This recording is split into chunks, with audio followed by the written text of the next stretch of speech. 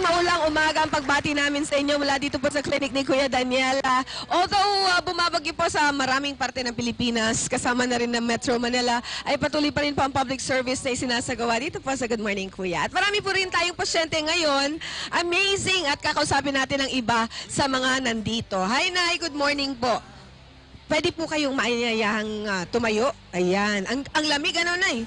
Ang lamig ano, buti na lang naka-jacket po kayo. Saan pa po kayo galing, Nay? Kaloocan. Caloocan. Batiin niyo naman yung mga taga Caloocan. Ay. Magandang waga po sa mga taga-Kaloocan. Narito kami ngayon sa UNTV. Yes. Okay, first time niyo po sa studio? Ngayon, ngayon lang. Ngayon lang. Ngayon lang. At ano papacheck up natin, ay?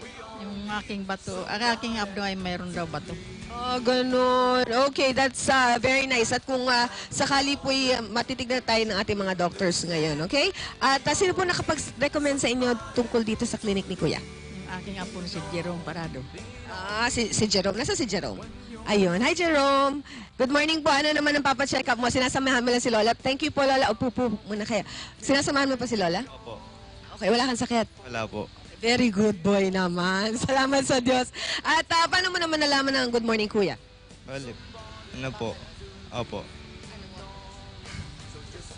Ano po? Napapanood mo? Okay.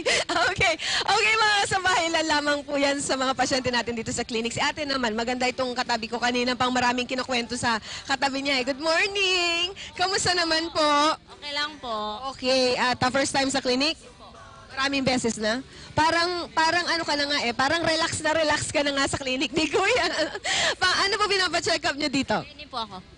Ni kay Dr. Cabanilla. Kamusta naman po ang gamutan? Okay naman po? Ngayon pa lang po babasahin yung result ng laboratory ko. Okay, at ano po masasabi niyo sa mga public service? Ito po sa Good Morning Kuya. Maganda po kasi lahat ano eh, libre. Siyempre, pagka lahat libre, maganda. Di ba po ba? Alright!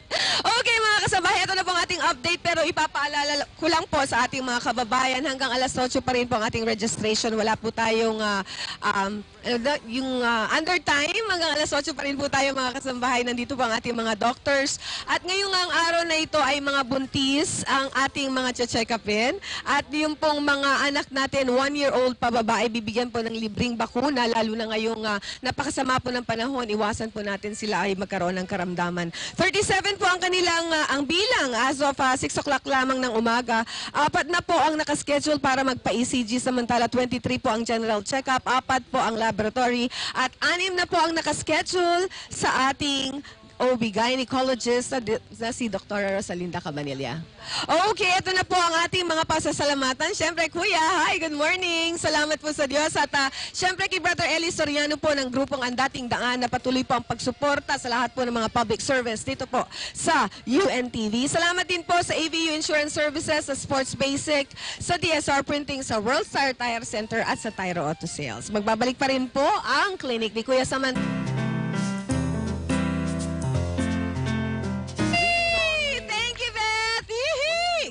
Talagang ganun eh, no? Hello once again. Good morning sa ating mga kasambahay. Medyo maulan-ulan pa rin pa po sa labas. Pero dito po sa clinic ni Kuya, halos patapos na po ang gamutan. At ah, ang mga naging pasyente nga po natin ay 88 ngayong araw po ng Tuesday. Ito po ang breakdown nila mga kasambahay. Anim po ang mga nagpa-ECG, 57 po ang general check-up, 10 po ang nagpa-laboratory. Ayan, ang ating mga medtech. 10 rin po ang ah, nagpa-check-up. Ay, nakaschedule ngayon kay Dr. Cabanilla, ang ating mga may babies sa tiyan. Sa kasi, Ah, ha- happy birthday, Dr. Alot! Hi! Happy birthday! Sayang, na-miss ka namin ngayon dito. Tsaka si Tatay Rolly po. Sino pa? Wala na, okay. At lima naman pa ang mga babies na ah, bibigyan ng libreng immunization. At ah, bago po natin pagpatuloy ang iba nating uh, pangkailangang iba sa ating mga kasambahay, pababatiin muna natin ang ating mga doctors sa ating bagong dating na doktor. Si Kuya Doc. Si Kuya. Si Dr. Cabanilla muna. Doc, good morning po. Andiyan na po ang ating kuya. Welcome back, Kuya Daniel. Hello, good morning po kuya. Happy... Happy pagdating po. Akala ko ano, happy. Happy thanks And giving to God. congratulations for being a doctor of humanity. Yes! Congratulations! Binibigyan sa'yo para namin siya. Kuya Doc, Doc Kuya. Hindi ko alam eh. Pero Kuya Daniel, one thing is for sure. Yan. Ito naman po si Dr. Cab- ah, Vanilla pala to. Dr. Ami Avenido, na meron pong babatiin sa Amerika. Mamaya na yun. Pimo mo na ang kuya. Hi Kuya, good morning po. Welcome back. Miss you po. Oh, ganun. Sino pa isang namimiss mo? Ah, hmm. Ah, Doc, dalaw daw po kayo sa clinic namin. Doc Kuya, miss you. Dok, Kuya Daniel, kailangan ka daw po dito sa clinic. Sige, tama yan sa mga humanities. Batiin niyo, kuya, no? Puro kay tago. Hello po, kuya. Ah, good morning po. Happy Ayan ang mga staff and crew natin dito po sa clinic na umulan at umaraw ay patuloy na naglilingkod sa ating mga kababayan. Siyempre, yan po ay sa pangunguna ng ating Kuya Dr. Daniel Razon. Ayan, at ah, mga kasambahay, bago tayo maubusan ng oras, agad na natin ipapaalala sa ating mga kababayan ng mga services po na ipaglilingkod naman ito rin sa clinic ni Kuya para sa hindi pa nakakaalam pero marami sa kanila alam na po. Ah, bukas po makakasama natin ang ating mga internal medicine doctors. Ah, makakasama rin po natin ang ating mga dentista kasi may libreng bunot ng ngipin. Ah, meron tayong libreng pustiso. Wala wala ang ating audio.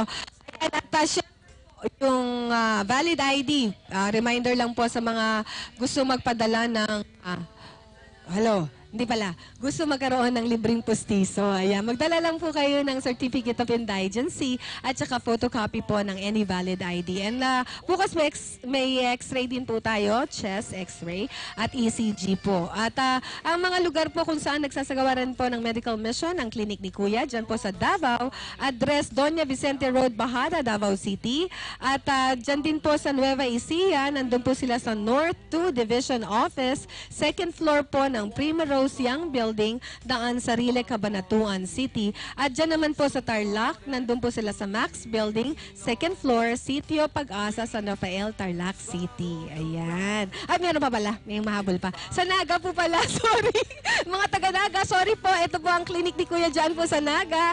Nandun po sila sa Barangay San Vicente Road, Kanakman, Camarines Sur, at ang mga services po nila ay General Medicine, Pedia, Dental Opto, OB-GYN and Reflex. Napapagod na ako pero hindi napapagod ang pagdami ng clinic ni Kuya. Sa Cavite din po kasi ay meron din po tayong clinic. Ang dami, no? Sa 245, salamat po sa Diyos, General Aguinaldo Highway, Biga 2, Silang, Cavite. At ang mga services po ay katulad lang din ng mga services dito po sa clinic ni Kuya. Pasalamatan na natin ang ating mga sponsors. Siyempre, meron tayong bagong sponsors na pinapasalamatan, Doktora. Ah, good morning, Kuya. Would like to say thank you to the amazing Trio Herbal Dietary Supplements, ang Mega A Superfruits, ang Miracle C Vitamin C at ang Multi-5 Amazing Mushroom, solely marketed by Miracle Health Corporation. Contact number is 567-7577 or 567-2643. Salamat din po kay Miss Pat Caroscoso, Interior Designer, at si Mr. Mario Mercurio. Marami nang nakakakilala kay Mr. Mario Mercurio eh. Ng Mark Line Home Furnitures and Decors located po sa Festival Mall, Muntinlupa City. At uh, for more information, you can call call them. And of course, para sa mga meron pong mga anak na gustong uh, maging magaling na journalist, yan. For college, nako, tuition fee na. Enrollment na. Naalala ko bigla. The Manila Times College producing good journalists through their own newspaper. You can call them up at 301-9625. And once again, we're saying thank you very much to God kay Brother Eli Soriano ang nangunguna po sa ang grupong ang dating daan na walang sawa pong sumusuporta sa mga sa public service ng Good Morning.